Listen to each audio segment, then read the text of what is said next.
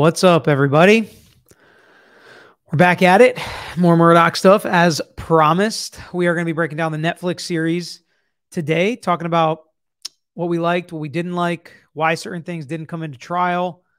Um, the, the two main questions I'm looking at this um, Netflix, and then we'll also talk about HBO and some other ones if you guys want to. If you want to continue talking about Murdaugh, let me know by liking the video. If the videos still get you know six, seven, eight, nine, ten thousand likes, and people are still watching them and still interested, we'll keep doing them. If people are over them, you can let me know, um, and we can just move on to the next thing tonight. Actually, I will say we did a new Bryan Kohberger video earlier, and it was really interesting to dive in to a hearing that was held to discuss whether or not Anne Taylor has a conflict, should have gotten off the Bryan Kohberger case, what her relationship was like with Kernodle's mother. Really interesting video. I'd love to hear what you guys think about it. Um, it's not alive, but it will premiere tonight, um, kind of around the time we normally hang out at night. So if you guys want to check that out. Um, but this case specifically and the the prism that I watched this documentary through and that I'll watch all of them if you guys are interested are what didn't come into trial and why that's in these documentaries. And if a juror would have watched this series, how would it have affected the way they viewed the trial? Because I think that's really the only important way to watch um, these series. I didn't find it overly compelling. I didn't find it overly convincing. I didn't find it overly gross. Like you can see, some of these are just like these gross cash grab type of things. Um, but there were elements of all sorts of things throughout this Netflix series. So we're going to break this down first, and then we are going to watch the video of Dick Harpootlian talking on the South Carolina floor of the Senate. He said he was not going to mix his political position and his representation of Alec Murdaugh. Did he do that? We're going to break that down. The second half of this video will be focused on that. So stick around for that if you want to hear about what Poot said and how it went and how we think it may affect cases not just in South Carolina, but in other states. So, when we talk about the Netflix series and what didn't come into trial, the overarching answer is a lot of it. A lot of it did not come in to this trial because it's hearsay, it's inadmissible, it is not relevant to the actual murders. And that's going to be the answer to most of these facts that we talk about but I did think a good portion of the Netflix series, especially episode one, focused on the boat case. And the way that it did come into trial was Alec Murdaugh immediately talking about the boat case. You could see from everyone involved, all the parents, all the kids, they looked at the Murdaughs and they think it was Paul's fault. And Alec and his father tried to cover it up. Law enforcement did a horrible job. Some common themes to what came out in trial um, but that was what a lot of these families and victims felt. And so that begs the question that we have to ask Were they potential suspects in these murders? Because it was very clear they thought it was Paul's fault. He went and got too drunk. He wanted to go make pit stops. He wanted to take the boat. Tinsley said he wanted to take the boat to avoid the traffic stops that they knew were going to be happening because of DUI with the oyster roast. That's why he took the boat. Paul was driving, no doubt about it, from everybody in this video. I don't know if it's as clear in you know the legal parameters, but as far as this video go and the the muster that you have to overcome to get something in a Netflix documentary, which is not exactly the same as what it takes to get something in court, which is why we focus on and trust what comes in at court a lot more than what comes in these documentaries, is that Paul was driving. It was all Paul's fault. One thing that was a little bit like made me take it back. I was taken aback. Is that how you say that? I was taken aback a bit. Is how they talked about Paul, Maggie, and Randolph, Alec's father. And it was interesting because most of the trial, it was all positive. It was mostly great things. The witnesses, even the prosecutors, were complimenting um, Randolph Murdaugh, Alex dad, Maggie, Paul. They were all close. They were friends. They lost loved ones. But if you watch this Netflix series, they are harsh and tough on Paul and Maggie, especially Paul.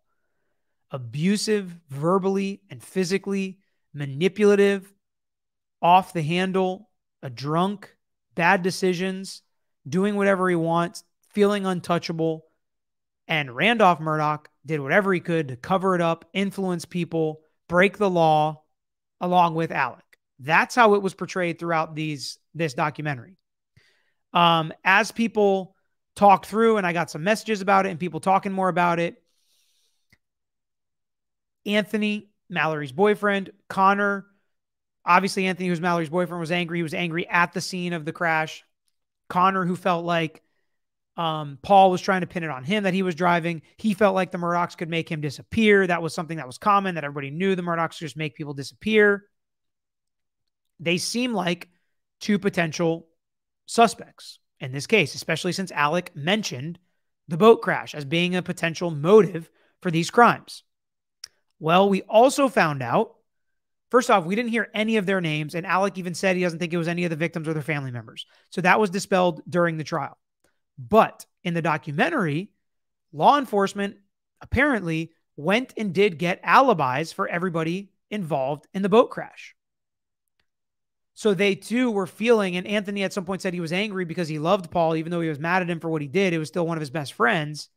And they were annoyed and frustrated. They think they could have anything to do with this but they were apparently ruled out as suspects based on their confirmed alibis. So that was interesting. A lot of talk about Alec giving the kids liquor, about Alec being involved in the BUI, um, about him getting sued, him being part of the negligent people involved in this case. A lot of that did come out in the trial. Um, so I don't think any of that would have really changed any view of the juror. Um, and then we did again talk about the abuse and how everybody wanted Paul not to drive. And so if the jury would have watched that, potentially they would have gotten a more negative outlook of Paul and Maggie than what they got in this trial. But I don't think it really would have affected their ability to be fair and impartial or make a call in this case uh, specifically. Um, episode two focused a lot on Murdaugh's trying to uh, affect the investigation and a poor investigation by law enforcement. This to me, if the jurors watched it, would have absolutely pointed in the direction that that's exactly what happened in this case. That's exactly what happened in this investigation.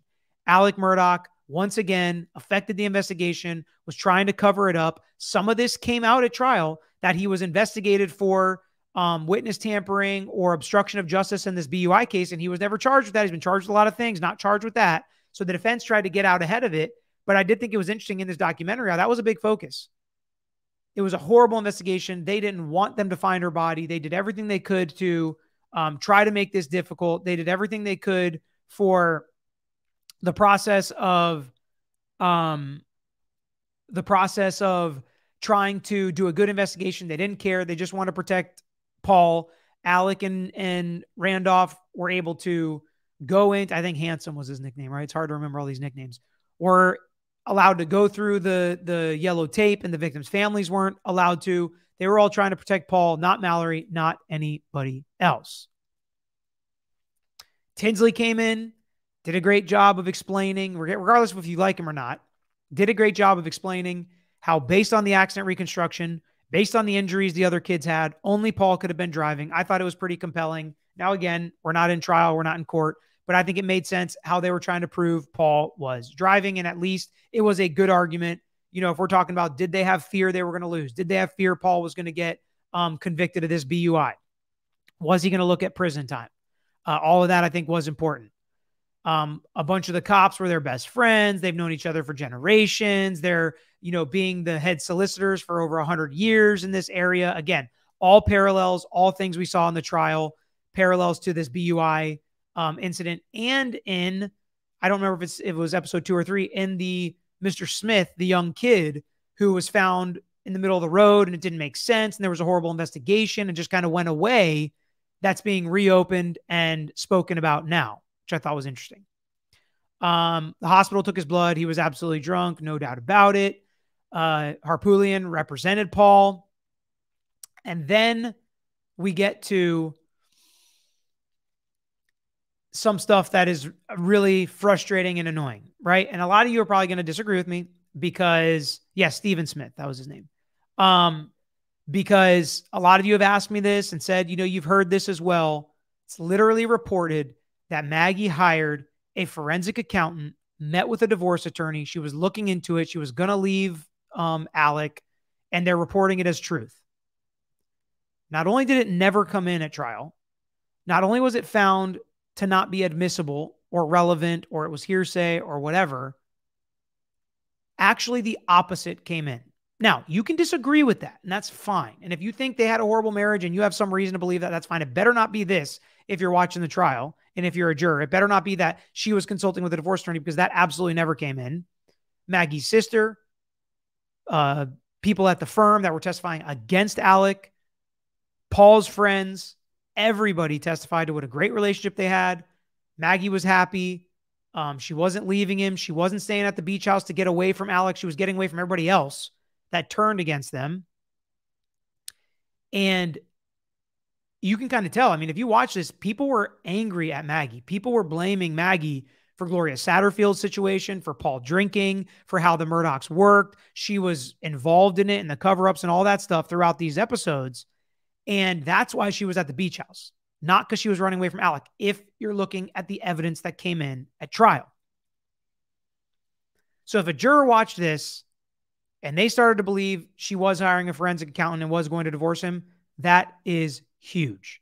That provides a motive that did not exist at trial. Now, I will say exactly zero jurors that have been interviewed post trial. I've seen four different jurors be interviewed. None of them have mentioned this. So that's good. So hopefully no jurors did watch this and hopefully it did not affect them at all. But that's kind of the prism I'm looking at this through is what came in a trial and what didn't and why. And then if a juror would have watched it, could it affected the outcome of the trial? Um, let's see what else we got. Okay, yeah, episode three is when they talked about Stephen Smith. Buster was implicated. Potentially they had some kind of a relationship. It was yet another bad investigation. Uh, Murdaughs were trying to silence that investigation too and stop it. Uh, the, the reporter said something like, you know, I'm a reporter, and if you hear the same rumor multiple times, it's probably some truth to it. It's like, okay, we'll see how that holds up in court, and we'll see if they end up do prosecuting Buster or anybody around this Stephen Smith situation. And then Paul's girlfriend, who I felt really bad for, and what she went through, and that relationship. I never love that kind of interaction in a documentary on Netflix like this.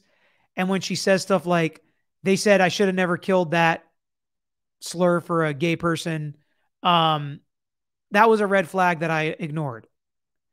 So Paul's getting drunk all the time. He's abusive. His family's covering up stuff, doing horrible things. They're saying things like this and maybe involved in making people disappear, murdering people. And you're ignoring all these red flags. Why? You know, it's always hard to sit in judgment of somebody in that situation because it's really hard. Um, but it's easy to, and I feel like this a lot with Alec Murdaugh is everybody was complacent and okay with it as long as it was benefiting them. But as soon as it didn't benefit them anymore, or something that they disagreed with, then they turn on them. They take the the skeletons out of the closet. They do everything they can to you know kind of come at them now. And there was a little bit of that in this Netflix series where I felt like they were kicking people while they were down, probably scared to do it before, and rightfully so because of all the power that they had. But there were a lot of red flags, and this is the point and the problem is there were so many people, not just these kids, and these are kids, it's totally different, but the lawyers, the bankers, law enforcement, everybody that was complacent and what the Murdaughs were doing has a little bit of culpability in the crimes that were committed, the slew of crimes that were committed. Because if people would have stood up earlier, a lot of this carnage and a lot of these this evil could have potentially been avoided. And it's easy to come out now and pile on, but I hope if people see this happening now in their world, they feel more confident to come out sooner and more confident to try to stop this before it goes too far down the road and has too, too big of a problem. Satterfield, again, this is such a weird story with Satterfield because I swear I heard the attorneys that represent the Satterfield sons say they don't think there was any foul play. They don't think there was any wrongdoing, but now they're reopening the investigation. They're exhuming the body. How are they going to prove if the story from Alec is she tripped over the family dogs? How are they going to prove that Maggie pushed her or that Alec pushed her? Obviously, Maggie's not going to testify. Obviously, Alec's not going to testify that he did it or that Maggie did it. So I don't understand what they think they're going to find that they didn't already find the first time because there were no other witnesses, right? So I just, I don't know what, to me, this seems like they're barking up a tree I don't think is worth barking up. It's going to cause emotional distress to the family even more than they're already going through There's some issues with if it's not negligence, how does the insurance apply? Are they going to lose that settlement if there's some kind of a homicide investigation and now it's an intentional criminal act? Does insurance not cover that? And is it going to end up hurting the victims' families at the end of the day? Because nobody wants that. Rather just leave it as it is and they got the insurance money that they deserve. I think they've gotten it at this point. Um, I just think it would be very, very difficult. Yeah, some people in the chat are saying yeah, they don't think the attorney is, or the attorneys have said they don't think there's foul foul play. So it's it's really, really interesting. And again, there there were allegations that Maggie pushed her, and which I thought was very weird. There were allegations, and this is where again, this is the frustrating part to me. That is just like stop. Gloria must have found the pills and told Paul Gloria knew too much. She was going to turn on them. It's like, well, we could have just said, why don't we just say Gloria knew about the financial issues? Because that's a good enough motive for murder, as we just proved twice over. So if they want to pin it on Alec, why don't they just say Gloria must have knew known about the financial crimes, and she was going to rat him out for that. Gloria was like family, based on everything everybody said. She was basically Paul's second mother. She worked for Murdaugh's parents and then Murdoch himself her entire life. There is nothing that leads me to believe that she was going to rat Alec out, even if she knew about it. I think she'd be more likely, and I'm not casting any shade towards her, but like family members protect each other, they love her. She'd be more likely to help him cover up a crime in the family than she would to rat him out as far as loyalty goes, not that she's a bad person, but that she may think that's probably the right thing to do because they're like family and she could be convinced that Alec that that's what she should do over ratting him out. That's more plausible to me and makes more common sense to me. So I hated that they did this. I hated that they acted like everybody was turning on each other. It absolutely could have been. It's plausible that it was an accident. It seems like they proved it was an accident and insurance paid because it was an accident. Um, but again, this adds a lot of heartache to me, to the family, but obviously they want to know the truth. So I think in an abundance of caution, if they want to go forward and learn the truth, then I do think that's important. Um, let's see what else we got. Uh, but they said, you know, AM got Alec Murdaugh got desperate. Um, it's hard to put us ourselves in his shoes. And then we hear their side of the road incident. Now we know that he's capable of everything. And then we find out about the blood spatter on his shirt. And that was it. It proves he was there and close enough to those murders, regardless of if he did it, he was there. It's like, okay, Netflix. Yeah, that makes sense.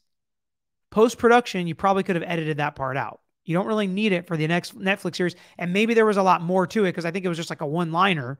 They talk about the kennel video. Um, Paul's ex girlfriend says, I believe he did it. It's like, well, good. I'm glad we got her opinion on whether or not he committed these murders since she was not there and doesn't have any more information about the murders than anybody else. But, you know, if we can get somebody to say we think he did it, which they had multiple people basically say, you know, they think he did it or they wouldn't be surprised or he was capable of everything, of anything, you know, that to me is like, eh, not, not very powerful, especially when it starts that line of thinking with the blood spatter evidence on his shirt, which to me is, is the big thing that a lot of people when they were convinced before this trial started, like these people, this was filmed before the trial, clearly, they were all convinced he did it. And I think that blood spatter had a ton to do with it. Because I got to be honest with you, if they told me that Paul and Maggie's blood spatter was on Alec's shirt, I would have been like, guilty. That's enough. He was close enough. He was there. He was wearing that shirt. Blood spatter would have made sense with the shots that were taken. He was close enough within two or three feet. That's what all the evidence was pointing to, right? The stippling and all those questions were already prepared. And the theory of the case was going in line with that blood spatter. It all made sense pointing to that blood spatter. And then you just pulled that out, which to somebody like me that looks at it, I'm like, yeah, now there's not enough.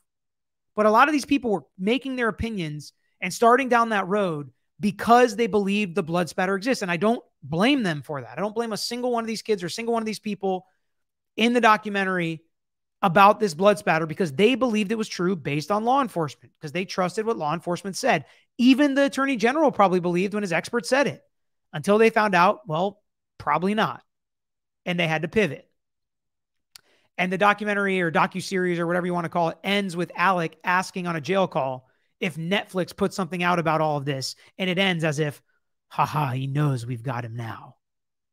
It's like, eh, eh. But anytime, you know, hey, I, I laugh about it when in court they talk about people talking about these cases on YouTube. So I get where Netflix is coming there. All right, HBO is even better. A lot of people told me that. I get it.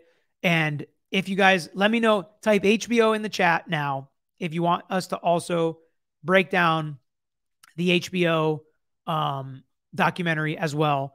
And I think there was one on Discovery or something like that. I will check them all out if you guys want me to watch them and break them down. If I don't have a channel, I'll buy it and watch it just for these documentaries. If you guys, because I like doing it after the case when we have the context, we know what came in, we know it was admissible, we know what wasn't, and kind of talking about it through this prism about how would it affect jurors and why didn't it come in a trial. It's interesting to me. All right, let's get to some comments. Linda Brown, thank you so much. Last night was wild. It was fun. It was long. It's probably a once in a once in a channel thing. Permanent juror. Based on the interviews the jurors have made, in my opinion, they had their minds made up once the bad acts were brought in. Thoughts? They didn't necessarily say that, but I think that that had a huge, huge, huge bearing on their decision. The other bad acts. Jeep Girl Lily. I've always wondered if AM did this to free his son from serving time in prison for a boat and to save Maggie from heartache in this twisted in his twisted mind.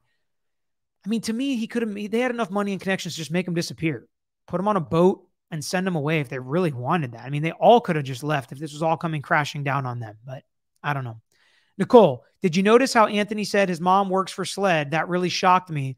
I feel for all of them. Also, mother of Paul's ex girlfriend worked as a jail nurse. Yes, I did notice that. They seemed like really nice families. Um, Anthony, I just it felt horrible. I felt horrible for him.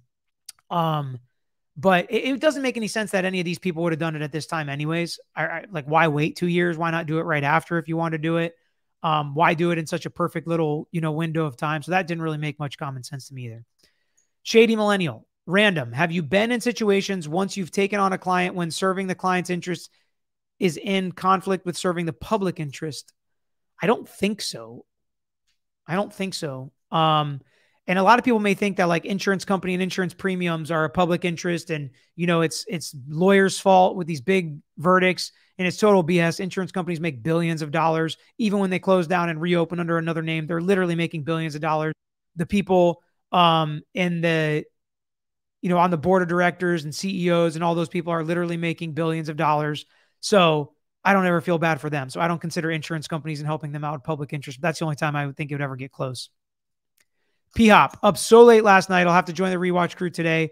You should do more fun hour, fun nights. I may do some more chill hangout kind of ones and have guests on. And that's the reason I don't have guests on. Just FYI, I like everybody. No problems with anybody on YouTube. I have fun and enjoy different conversations with people, but I like to keep it at an hour. And with just my own hot air being blown and speaking, it's hard to do that. So when you bring other people in, it's really hard. Karen G, thoughts on the juror being the deputy witness of a brother? We dug into this a lot last night. The lawyers were okay with it. They know more about the case than me. I would have objected to him and tried to get him off. I can't think of a scenario where I would not object objected to it as a defense lawyer, but they didn't, and they let him on. So not an issue. Daria, wasn't AM at work when Gloria fell and called him home? I have no idea. I do not know the specifics of that story. I thought Murdaugh was the only witness to tell the insurance company that she did fall, that proved it was negligence. Susie Wood, you are so infi- in, insightful, and I live. I love that about your show. Please name Tragos and the jury you know. Yes. If you want to go on the community page and vote for what the chat is going to be called, I think the chat you know, it got the stamp of approval from Emily Baker. So that's hard to overcome that endorsement. But you all will decide. The Tragos tribe, Tragos Law tribe, is a very close second. So if you want to affect that chat, I mean, uh, affect the name of what the chat's going to be, go to our community page, vote on that poll. Um, we're not going to decide yet. We're going to still leave it open for some votes. So let me know. Trish, what do you think of Randy's comments? Again, I did a full video on this one, Trish. If you want to check it out, uh, yesterday I posted. Um, I think it was very interesting, and I think he would have voted not guilty, and he does not feel that they proved Alec did this, but he does think Alec is still lying and knows more than he said, than he has ever said about what happened that night. Daria, Stay true to your insight and intelligence. Chat, go and be chat. Of course, I get it. Christina, check out Eric Allen on YouTube too. I will try to when I have some time. Mary Claire, uh, sick with COVID and passed out a few times into the last night's celebration. I'll be joining the rewatch crew. Thank you, Peter, for all your time, energy, and enthusiasm. Mary Claire, I hope you feel better soon. Hope you beat it. Hope you get some rest. That's like the best medicine for it, I think, is just a lot of rest and a lot of sleep. All right. So let's take a second now. Um, let's watch Harpootlian's discussion on the South Carolina floor. Can't wait to hear what you guys think about this. It's going to be 1.5 speed. We're going to pause it. We're going to react to it. Is he using his position to try and help this Murdaugh case? Is he using his position to have any undue influence on this case? Let's talk about it. Let's listen. I have a lot of thoughts. I've listened to most of it, um, not necessarily all of it yet. Deborah wants the Tragos Law Tribe. It's going to be up to the people. It's up to the people. All right, let's share this.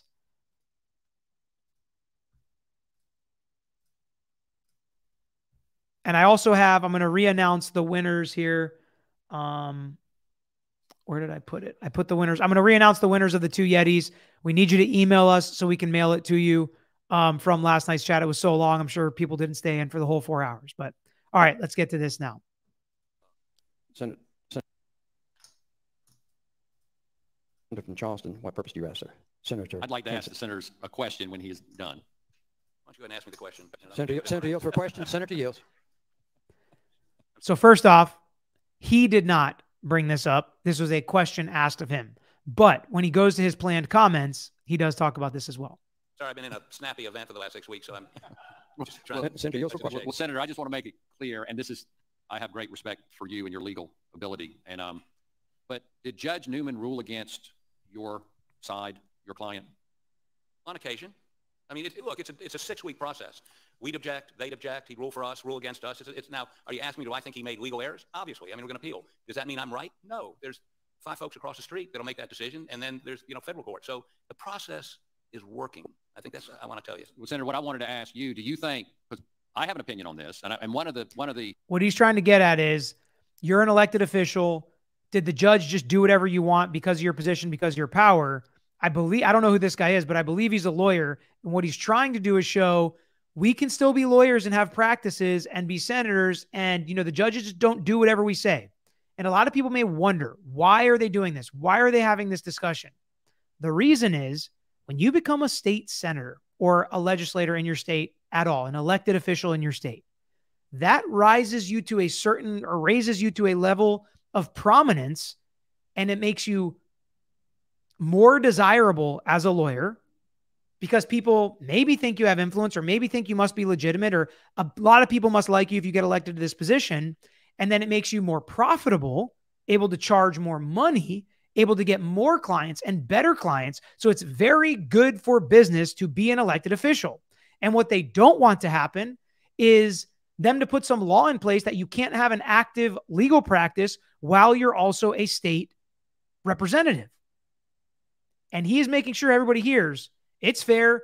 Harpootlian's a great lawyer. He just lost. Judge ruled against him plenty. Judge didn't do whatever he wanted him to. It's a fair ball game, and that's how it should be. And we should be able to keep practicing. So think about that context as we listen to these comments.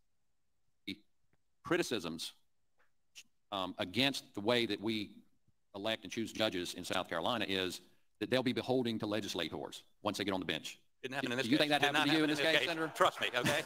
I've got a couple big black and blue marks on this rear end of mine that will Well, confirm that. Please don't. Sh- we'll take your word for that. You don't need to show us, but but I just wanted to You just can't is- stop this with the one of- jokes, you know. But again, he's he's right. He got beat up in this trial. He definitely they weren't just doing whatever they want or whatever they wanted him to do. This is the most high-profile case probably in the history of South Carolina, and at least in the age of YouTube and internet, is certainly what um, just grabs the- YouTube. the attention of, of a nation and a world even. But I always often hear this criticism that if, if the General Assembly elects judges, then they're going to be beholden to lawmakers. And I just wanted to make that point. That didn't happen to you during this trial, Senator. There may have been a point, I've been doing this almost 50 years. There may have been a point in the distant past where, you know, you had one senator per, per county. Um, home rule was typically from their home. Um, and things operated differently back then. There wasn't transparency. There weren't computer records. There weren't, uh, and, and that's evolved so that we're electing uh, a, a different generation, if you will, than when I started out. Um, and I don't sense that um, legislator, leg- lawyer legislators, I don't get it. I mean, what I will get accommodated on is schedule. Um, you know, if I need motion scheduled on Monday or Friday to accommodate me, that's fine. But I don't, nobody, I don't go into any courtroom saying, you know, I voted for that person, or I know that. I mean, many of them at my age, I knew before they were judges and have a personal relationship with them. I just don't see that. I don't see that happening. Now, I'm not telling you that doesn't happen, you know, in some remote rural area where you know it's a different environment than where I practice. Um, although I just spent six weeks in a remote rural area, but I didn't see. I didn't. I, I don't So he's saying he's not not going to say it doesn't happen in smaller areas, but from where he's from, it doesn't happen, and it definitely didn't happen in this trial. see that. I, I will tell you this. I've been around the country. I try cases all over the country over the years. Public election of judges, is a disaster. I had a case in Texas. I agree with that. I had a case in Texas where we argued a motion, um, and uh, the, the other side apparently, I just had local counsel contributed a whole bunch of that guy. He was just beating us up.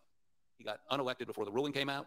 We had another judge um, who our local council was friends with or contributed to, and we won. So I mean, that's I mean, you know, friendship's one thing. Cash is something else. Yeah, and and we do that here, local elections, and we can donate to judges. And I will just tell him, uh, tell disagree with him here that basically all lawyers contribute to like all judges, judges that win, judges that lose. It's very rare that you um, you know, support a judge so much so, and usually you don't like totally financially back them. But I do disagree with him that donating to campaigns makes you win in front of them. Some of the ones I've known the best and contributed to have pissed me off the most in trial. One of the ones, I mean, I thought was actually pretty horrible in trial um, a few years back, uh, and we supported them big time. So I totally disagree with him. I think being the decision maker like they are in their jurisdiction is way more influential than a bunch of lawyers giving money to campaigns for judges, especially when, like he said, we a lot of us have personal relationship with judges. He probably has personal relationships with a lot of judges, and he's saying money is more than relationship. No way. Money on the books that's public that everybody knows that you gave. Like if that's changing the mind of judges, that's just stupid. And we've had some lawyers try to make that argument, and they have been reprimanded by the bar for making the argument that because some defense lawyer gave money to a judge's campaign, this judge is making rulings in favor of that defense lawyer. So I, I, totally disagree with him here, but they are doing their best to protect their craft, to protect their ability to maximize their position as elected officials. That's what I feel like this discussion is for. And I'm not saying I wouldn't do the same thing. If I believe that it was fair and I believe it had no influence and I believe that could be a senator at the same time as being a practicing lawyer, I would make the same argument as him. So I'm not faulting him for this, but I do disagree with him that this is less influential than if you donate money to somebody's campaign. So public election's horrible, in my opinion. Having them appointed by the governor, I think, puts too much power in his hands.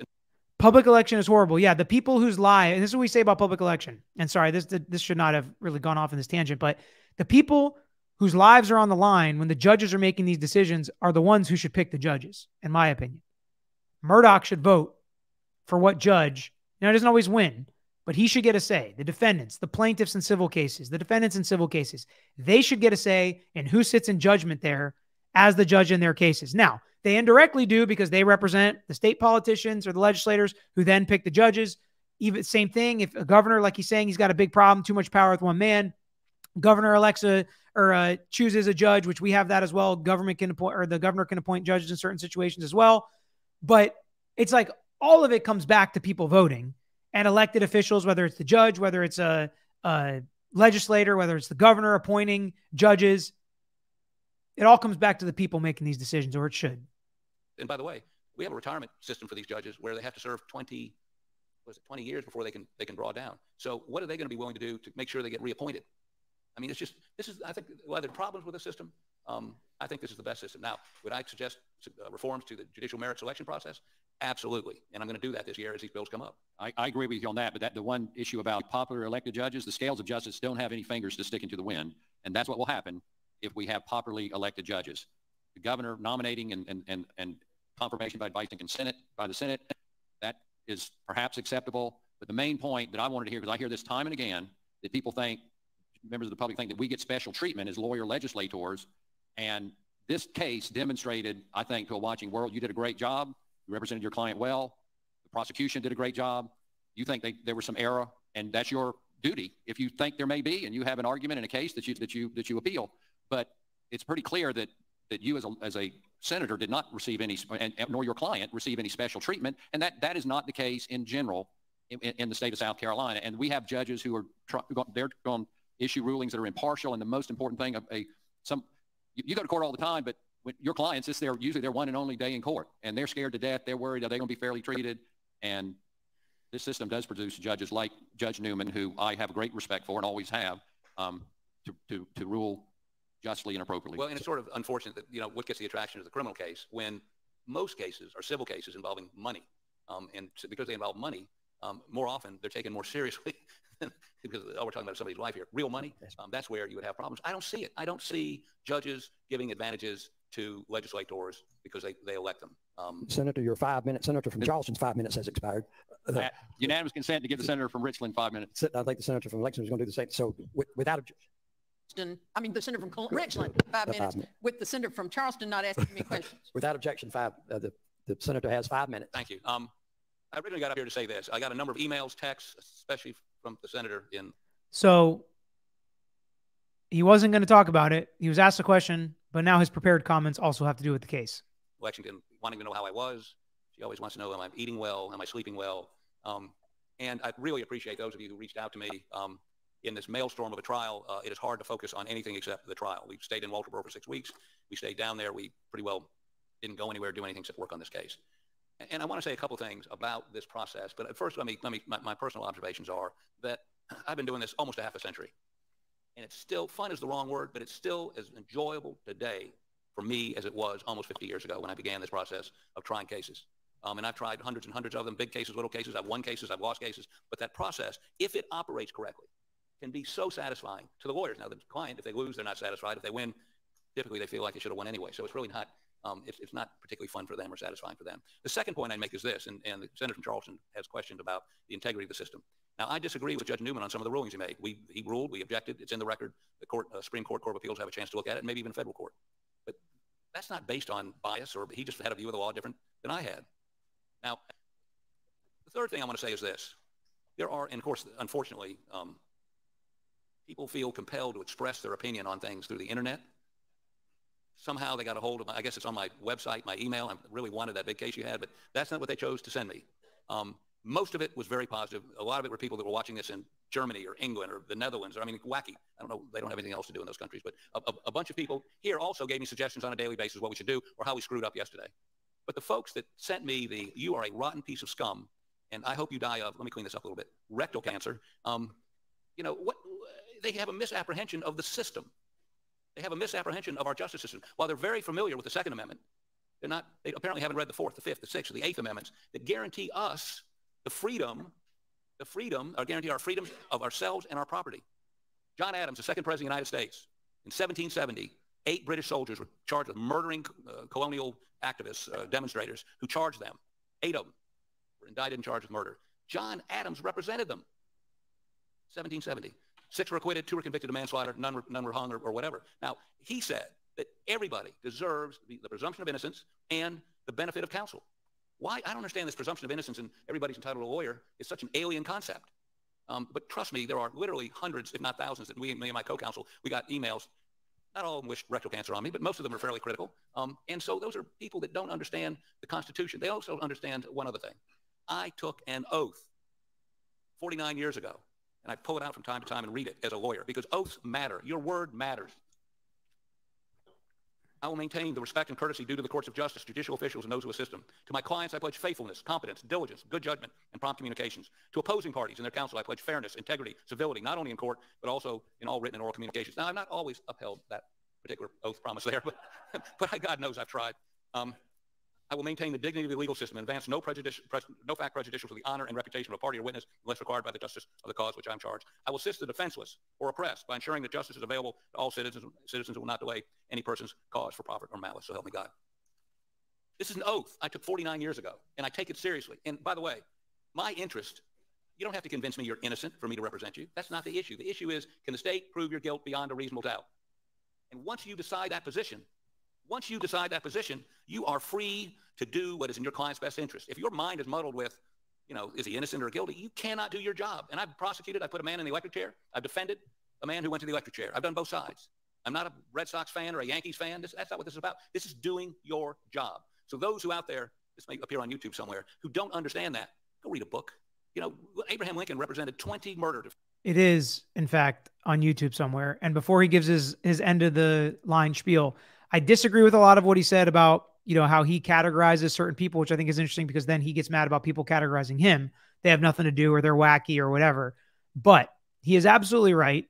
And we talked about this last night. I think with Emily, I can't remember. It all kind of is running together about how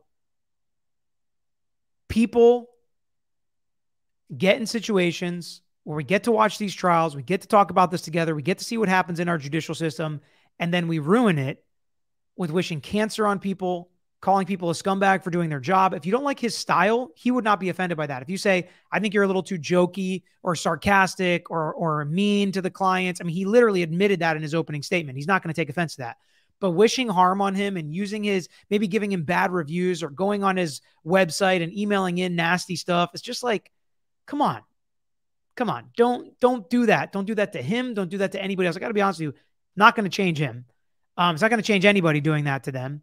But be kind, be respectful, be gracious, even when you disagree. And he just told you what he thinks. And he's being honest. He doesn't care if his client's innocent or guilty. He cares about whether or not the state can prove beyond a reasonable doubt. And if they can't, then he's going to put on a case. So I think it's just important, even if we disagree with somebody, even if we think, you know, they're slimy or whatever. I mean, people have written me messages telling me they think I'm slimy. I think it's because of my hair. And they're like, you know, you're a grease ball. Listen, that's going to happen. That's okay if you don't have anything nice to say, don't say anything at all, right? I agree with him that words matter. I agree with him that all of our rights matter the Second Amendment, Fourth Amendment, Fifth Amendment, Sixth Amendment.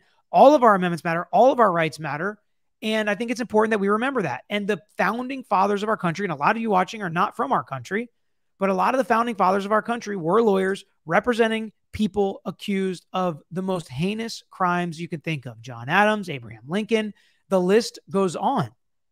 And those people who we think of as patriots for freedom and fighting for what's right, they also fought for rights like this. And you would not like the country if all it took was SLED or an individual attorney or individual judge to be like, you're guilty, go to prison, bye bye. I don't care what anybody says. I don't care what arguments you have. No, you can't talk about the witnesses. No, you can't know who the witnesses are against you. No, you can't ask them any questions.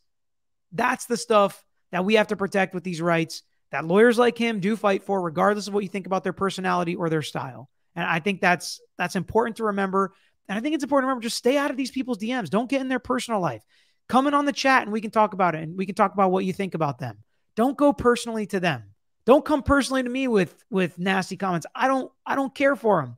They're not going to change my opinion. They're not going to change me. Frankly, I'm not going to read them. I'm not going to respond to them. So positive, uplifting things. And I'm not talking about, let me be clear, I'm not talking about disagreeing with me. I'm not talking about giving me a different point of view. I'm not talking about me saying, or you saying to me, you don't understand this because you have never been through it. I've been through it. And this is what I learned going through it that you might not understand. 100% happy with that. But go at it the right way, and it, your opinion will will go a lot further. It'll go a lot further. He would have read the emails if it was like, hey, man, I think your guy's guilty and I think you know it. And you put him on the stand and he's a liar. And I don't think we should do that in our judicial system. I think that would have been a totally okay email. But saying you should get rectal cancer because you're helping this, you know, murderer and you deserve the same punishment he gets, I'm not I'm not about that. I'm not about that. Defendants. Not all of them are acquitted, but he fought for every one of them. This is about a system. And by the way, that system doesn't exist in this state without us. That's the attractiveness of being in this body. We shape how that system works. So I've come back from six weeks overseas. Um, and, and also, Margie's not here today, but Margie Matthews was very kind in letting us use her office to have luncheon every day to avoid the, and I know this sounds so vain, paparazzi, um, who surrounded the, um, the uh, Walterboro Courthouse, He smirked when he said it. And by the way, the people that slept outside for nights to get into the courtroom, get some help. Please, soon. Okay, there's something wrong with you. I mean, you know, y'all cheered us when we came in or whatever, but but you really, really need help. So thank you for for being nice to me while I was gone. Um, took care of abortion. You have not taken care of guns, uh, majority leader. Um, you could have done it all and brought me back without having to deal with that kind of stuff. But I appreciate you at least getting some of the stuff cleared out. The senator's time is about to expire. The senator. Well, I'm expired. Okay. Hey, well, you got, you've got, you've got. Thank two, you very much. All right. Bunch of you sent me that. So I did want to talk about it. Um, I do think it's important. I'm going to hit a couple more comments, and then I do have to take off to my next meeting here. Eyes goal. Mass media has changed. Jury selection has to be transformed accordingly. Jury should be able to watch, listen, and do research and combine the information uh, with the court. In reality, Netflix doc is average as usual. I think. Yeah, no shot. Never going to happen. There are just if if we want to continue to allow freedom of speech, freedom of publication, um, artistic freedom for them to put documentaries like this together, that's fine. We cannot combine the two. They cannot go and look at this and use it as part of research. Some of this stuff is absolutely wrong and there's no repercussion for it. Um, so for that, that is the point of scrutinizing things and running it through the filter of what is relevant, what is admissible, what is allowed as evidence in front of the jury. Throw those rules out. We might as well, then lawyers can start arguing about, you know, look, this Netflix person said it. Look, Paul's ex girlfriend said he did it. She knows the family. She must be right. Can't allow that stuff. It would really mess up the judicial system as we have it. All right. Um, Colby in the documentary at the hospital after the boat crash, Alec Alex Badge was never hanging out of his pants pocket. I think it was photoshopped in. I heard other people say that. I honestly, I have no idea. I have no idea. I would be surprised if the AG committed fraud. I mean, I get it. You guys could say they did other stuff, whatever, but I'd be surprised. Kim D. Maggie may not have pushed Gloria, but she sure acted like she didn't care about her on the 911 call, did not paint her in a good light. I haven't heard that. I don't know if that's on the HBO one. Azam, Peter, is it okay for Poot to talk about the trial here? Congrats for four hours last night. Amazing. Uh, yes, it's totally okay. And again, he wasn't talking specifics about the case. He wasn't trying to, and I don't know if I mentioned this, but he didn't do what he said he wasn't going to do. He is not going to mix. He is not going to try to affect his representation. He's not going to make decisions in the Senate that are going to affect this case or affect his representation of Alex Murdaugh or any client. Now, bringing awareness to things, saying that, look, Judge Newman did not give me preferential treatment. That's really important. Um, and that's totally fair game. Anything you can use your experience to make things better, I think is really important. And that's exactly what he did. And I've got no problem with him talking about stuff like this. As I said, I disagree with some of his comments, but overall, I don't I don't see a big problem with it. Boy mom. This is a great chat group. I love this chat group. Can disagree and still be respectful. One of my favorite groups. Civility is hard to come by these days, and this case has really shown it. But you guys are awesome. I was starting to think that it was impossible to disagree anymore in society and have these conversations without ripping people's heads off. This chat has literally changed that for me. And as it grows, people come in sometimes fiery and hot when they're new. I feel like most people come around, they enjoy the discussion, they enjoy the back and forth, they enjoy enjoy the disagreement, they enjoy seeing it different ways. Um, and there'll be some chest pounding when they're right or the other side's wrong. And it's kind of like sports. It's okay. You know, you can brag a little when you're right, as long as it's respectful, we understand. And you might be wrong next time. So always remember that. I always say, you know, the pendulum can swing when your side's in power or when your side's right, don't go too hard, or you can expect that when it comes back around. Daria, Peter, set boundaries on how you should be treated. It's hard, I will say, and I used to read a ton more um, comments and messages than I do now, but not interested in in the hate. Jesse Sue, net happy Wednesday. Uh, DJ N works. I think the HBO documentary is less salacious than the Netflix doc, but would love your perspective. I'm going to give it then. I mean, listen, you just you just paid for a year of HBO. I have no idea how much it costs, but I'm sure you just paid for a year of it here. So we will get it. We will break down the HBO documentary as well. Leslie P, you're so right. We take our legal system for granted, not just our legal system, but the cameras and microphones now that we get in the courtroom. That can all be stripped away at judicial discretion, and they can point to those emails from Dick Harpootlian, from the stuff happening in the Idaho case, to the stuff happening in the Lori Vallow case. They can point to those things and pull the cameras and pull the microphones and then we're left with just reporting. And we know how that works out. So I, that's why we got to realize we got to work together in this. Nora, my thoughts on the docu series. All those so-called friends of PM are opportunistic, especially his ex-girlfriend. Sue, I am still proud of you. Thank you, Sue. I appreciate that. And Azam, thank you for this super sticker. Yes, I see a lot of people posting HBO. I will watch the HBO. Um, at some point, I I am going on a flight this weekend. So maybe I will download it um, to my iPad and watch that HBO documentary on my flight. Maybe we'll talk about where I'm going. I guarantee there are, it's a big city. So I guarantee there are people in this chat that are from there, that live there, that would have some recommendations of things for me to do with the kids on spring break because we want to see maybe some cold weather, maybe some snow. We'll see. We'll talk more about that. Um, stay tuned for the Kohberger video tonight. I enjoyed the content. I thought it was really interesting. And I really, really, really want to hear your all take on it. Um, hit that like button on the way out if you haven't already, and please make sure you subscribe. We're almost to 211,000. Every single little milestone is fun. So hit that subscribe button if you haven't already. Not New York City. We'll talk more about it on a future video. Appreciate you all. Until next time, I'm out of here.